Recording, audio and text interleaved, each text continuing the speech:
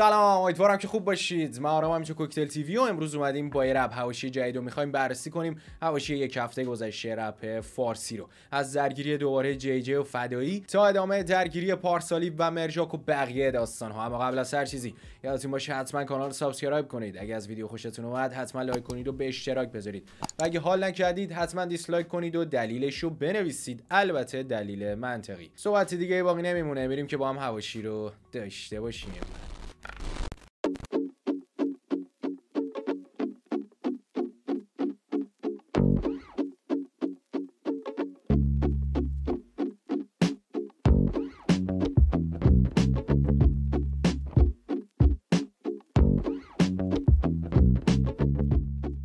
اگر رپ حواشی قبلی رو دیده باشید می‌دونید که داستانهای پیش اومده بین مرجاک و پارسالیپ و با هم یه سری بگو مگو داشتن. داستان یه جوری خود پارسالیپ توضیح داد توی به حال stream هایی که داشت با gamer ها و یه سری حرفا رو زد و یه voice ی هم ازش پخش شده. این voice رو با هم میشنویم. تو تیم نویسندگی من ده نفر آدم کار می‌کنن. یکیشم این چاقال بود. یورپ کسخل شد. چرا؟ به خاطر اینکه به من گفت داداش کلیپمو استوری کن. بعد من می‌خواستم حتی استوریش کنم. مسیجام زیاد بود. ندیدم. یوهو رفت لاک کرد. من تو رو من تو رو با آدم کانک کردم. من تو رو نمی‌دونم با کی کانک کردم. خواستم با حروم زاده تو اگه دست طلاییه بکش رو سر خودت کونی چی میگی؟ برو گم شو. جوابتون گرفت. کرده و رفته بود خوش این حرفا رو دروغا رو گفت. من نمی‌دونم چرا هر کی از طرف ما در میاد دروغ میگه. فلان مردم. همونطور که حرفای پارسالی پشت شنیدید به نظر میاد سر یه سوء تفاهم این دوستی اینجوری شده. اما چیزی که مهمه این وسط اینه که خود پارسالیپ اصلا رد نکرد این داستانه که تکس اونو کس دیگه ای نوشته و خب اینجا کامل حرف خودش زد. حالا یه داستانی پیش میاد که خیلی میگن آقا کسی که خودش تکسش رو نمی نویسه نمی‌تونه بیاد. حالا ادعایی داشته باشه از این داستان. اصلا ربطی نداره. تو مارکت جهانی هم خیلی ها هستن که تکساشون رو خودشون نمی نویسن فقط این افرادی که اینجوری هستن خیلی توی رپ معمولا خب نمی‌تونن حرفی برای گفتن داشته باشن یا بیان توی بتل و اینور اونور. اما خب وقتی یه آهنگ جمع می‌کنن پارسالیپ هم نشون داده که می‌تونه آهنگای خوبی جمع کنه و بازخوردش رو توی بازار بگیره. پس زیاد رو این داستان نمی‌تونیم بگیم که کسی حتما یعنی هر کسی رپره باید تکستش رو خودش بنویسه. خیلی دیگه هم هستن که تکستش رو خودشون نمی نویسن و شما اطلاع ندارید. خب این اتفاق میفته اما در جواب به این مرجاک ویدیو گذاشت و توضیحاتی رو داد توی تلگرامش که با هم می‌بینیم. الان یه voice شنیدم توش می‌گفت شهرام یه تیم ده نفره می نویسه اسکل اوی هم نهایت دو نفره تیم شعرش بعد تو خودت اون وسط چی کار می‌کنی؟ خب این بود تا اینجای داستان پارسالیپ و مرجاک. ادامه نداشت. به نظرم نمیاد به diss و این داستان ها بکشه اونجور که حالا مرجاک قبلا گفته بود که من اسم کسی مثل پارسالیپو نمیارم و از این حرفا. حالا باید ببینیم شرایط چجوری پیش میره. استوری رو داشتیم از آرتا که داشت اعتراضی رو می‌کرد به ملوبات. همونطور که می‌بینید آهنگ همینیم که هستیم توی روز اول 400 هزار ویو گرفته روی این bot و خب اگه این ویو رو تو اسپاتیفایشون داشتن یا یوتیوبشون داشتن درآمد خوبی رو می‌تونستن ازش داشته باشن و اینجوری گله کرده بود. توی update جدیدی که تلگرام داده خیلی راحت هر شخصی می‌تونه این bot ها و کانال ها رو report کنه و بگه که آقا این آهنگ رو دزدیده. پس اگه می‌بینید این اتفاق میفته حتما به آرتیست ها کمک کنید report کنید که بتونن به حق واقعیشون برسن. چند روز گذشته ما ویدیویی رو از خلسه دیدیم که درباره 5 تا از بهترین آهنگای رپ فارسی از دید خودش سخن می‌گفت به همراه خانومش. و تو اون وقتی اسمی از آهنگ سنگین برده شد. گفتن که نمی‌دونیم آهنگسازش کیه. با آهنگساز این قطعه علی مجیدی یه سری استوری گذاشت و گله‌ی خودش رو اعلام کرد. علی مجیدی نوشت وقتی این ویدیو رو دوستانم برام ارسال کردن و دیدم بعد از گذشت ده سال هنوز آهنگساز این کار رو دوستان نمی‌دونن کی هست بهشون حق دادم.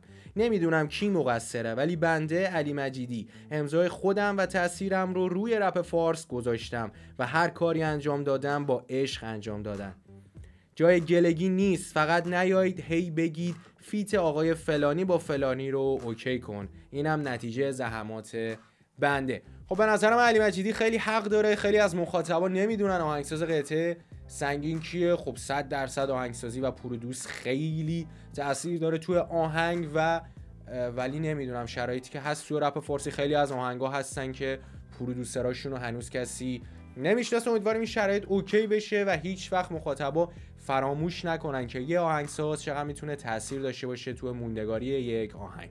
تو دو روز گذشته بالاخره آهنگ احچاقی از کچیبیتس و بهزاد لیتو پخش شد. خب نکته جالبی که تو این آهنگ بود تیکه به پوتک بود و خب خیلی ها اینو diss پوتک نام می بردن و می‌گفتن که diss کرده. خود پوتک بعد از شنیدن این آهنگ یه استوری گذاشت. حالا داستان استوریش چیه؟ چند سال گذشته 2015 16 بود اگه اشتباه نکنم. شاید هم قدیمی تر اسنوپ توی یه برنامه با 50 سنت داشت رپ کنای نسل جدید و که mumble می‌خونن و trap می‌کنن و خیلی کلمات عجیب غریب میگن که گاهاً معلوم نیست چیه داشتن مسخره می‌کردن flow اونا رو و میخندیدن با هم به به حال داستانی که اون موقع ها توی رپ آمریکا شکل گرفته بود و تازه بود. پوریا پوتک هم با استفاده از این ویدیو تیکه خودشو به خشایار SR انداخت و به نوعی میشه گفت سبک اونو و رپی که می‌کنه رو مسخره کرد با هم می‌بینیم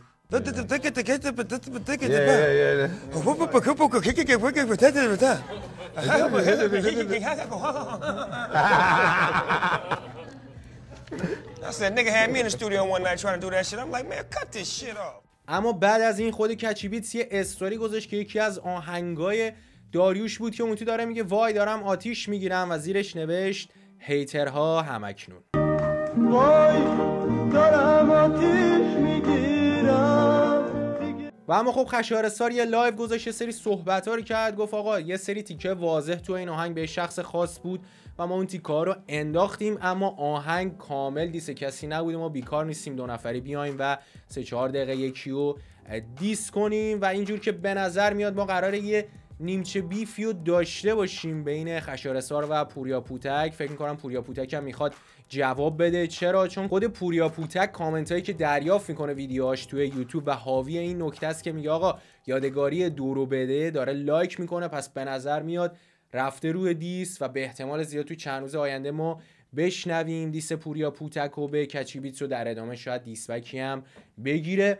معلوم نیست. اما تا اینجا داستان اینجوری بوده. اما یه سری شرایط دیگه داره اتفاق میفته یه سری اتفاقات دیگه داره اتفاق میفته.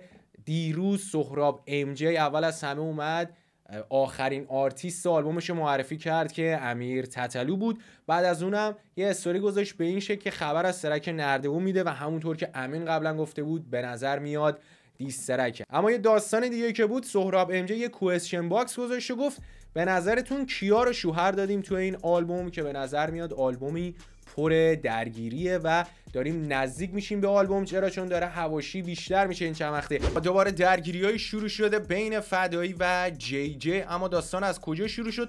داستان از اینجا شروع شد که اول از همه جی جی استوری گذاشت و خبر از این داد که double album رو اسپاتیفای بیشتر از 3 میلیون ویو گرفته. و بعد از اون استوری گذاشت و نوشت اگه یه سری دیگه هم به جای مبصر بازی تو توییتر وقتشون رو آهنگاشون میذاشتن بعد نه سال آلبومشون انقدر نمی‌زد هشتگ نامبر.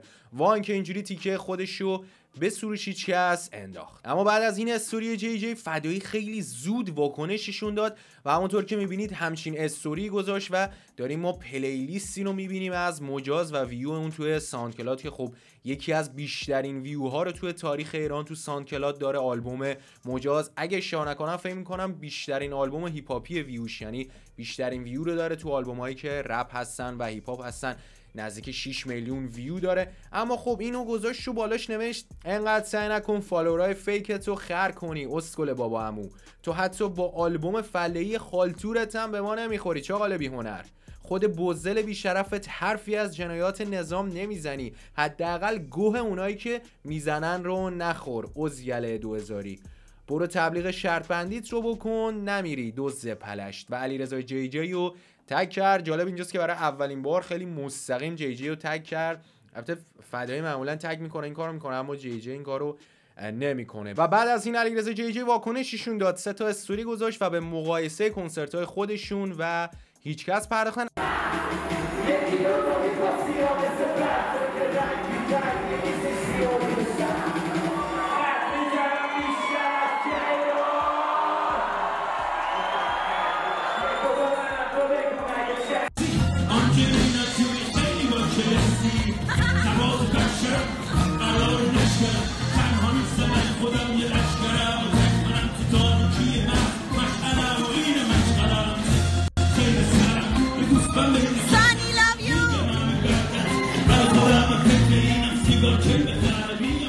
بعد از اون چند تا استوری گذاشت به ترتیب نوشت تو رپ ایران دو تا راه داری. یا میری دنبال آهنگ خوب ساختن و پول درآوردن و کنسرت باحال گذاشتن تو سبکای مختلف یا همش سر تو کار بقیه است و به جای آهنگ خوب دادن مقاله توییت می‌کنی و یک قرون پول در نمیاری از کارت. شما کدوم انتخاب می‌کنید؟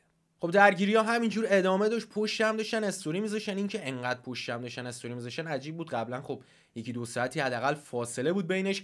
دوباره فدایی اومد دو تا استوری گذاشت یه کنسرت از خودشون گذاشت و اون کنسرتی رو که توش جی جی از روی سن میفته پایین. خلاف طبقاتی اینجا. مردم و زخمی. مایدار خزا توی تاسی همه میخوا کرایه ندن حقیقه روشن خودتو به اون راه نزن. روشنترش می‌کنم بس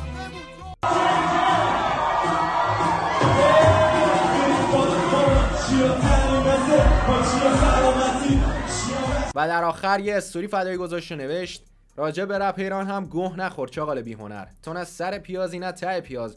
15 سال پیش چند تا لوپ آماده رو کردی تو پاچه رفیقای گوره خرت فکر نکن کسی آدم ثابت می‌کنه. تو نه آهنگ خوب ساختی نه پول خاصی در آوردی. ده سال نشستی تو 20 متر خونه پای ارگ قرازت و تو رویا ادای پیانو زدن در میاری و فقط واسه چهار تا بچه از همه جا بیخبر گوزگوز می‌کنی. گفتم که برو تبلیغ شرط بندی تو بکن نمیری. دوز پلش و اما بعد از این استوری های فدایی جی جی چند تا استوری دیگه گذاشت که با هم می‌بینیم. اول از همه نوشت طرف کلا یک کنسرت گذاشته تو زندگیش هی اونو استوری می‌کنه. بعدش هم نوشت بابا اون موقعی که تو دیسلاو می‌خونی با اسم کوین 69 ما از همون مستند ساختن هشتگ کوین 69 و در آخر هم یکی از آهنگای دیسلاو قدیمی فدایی رو شیر کرد. دیره آخه گلم تو که دیدی گونه هام خیته. دیگه خیالی نیست توی صحنایی بمیرم. دستای سگ تو توی آسمونا بگی اما نه دیگه تو واسه من مردی. هنوز یادم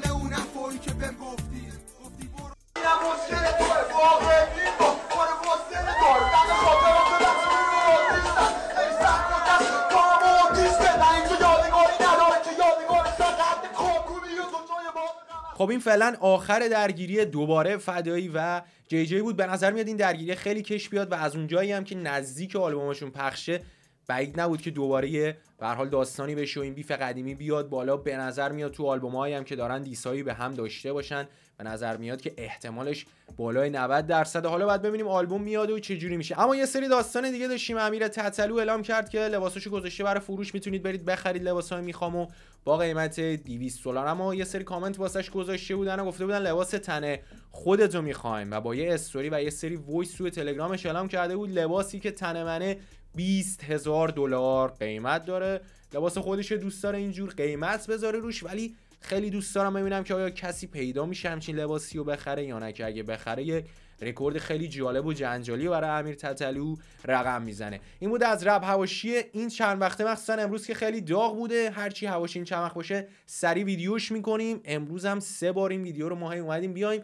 هی جی جی استوری میذاش. دوباره اومدیم بذاریم. فدایی استوری میذاش و یه دقیقه هم زبونم گرفت. استوری میذاش. به حال هر چی بود سریع جمع کردیم و الان هم هر خبری دیگه بشه تو ویدیوهای بعدی خواهید دید و به نظر میاد که داستان سر دراز داره. داستان پوتک و کچیویتس هم که داریم. به نظر میاد این یکی دو هفته شاید تو آلبوم هایی که قراره بیاد یکم سرمون از لحاظ هواشی شلوغ باشه. این بود از این. مرسی که تا این از ویدیو رو تماشا کردید. امیدوارم حالتون همیشه توپ خوب عالی و بم باشه. تا ویدیو بعدی. سی